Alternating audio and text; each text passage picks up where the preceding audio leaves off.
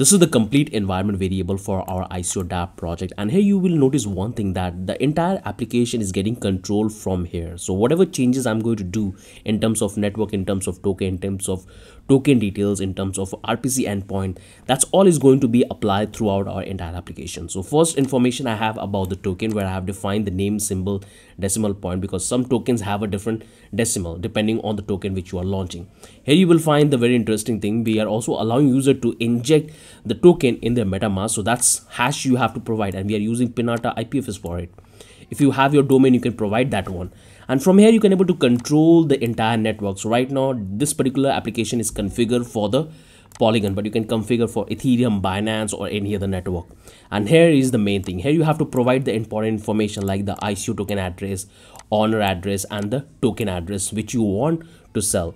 And the most important is the wing provider so you have to get your own wallet connect api key and that's what you have provide here. And here we have the rpc url for the token. So user can click and they can explore the token including the contract. And here we have this forms where which allow us to send email. So user can easily able to contact us.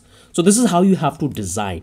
Whenever you are working in your application so you should never do a hard code configuration. You can do in the environment variable and from there you can able to control the entire application.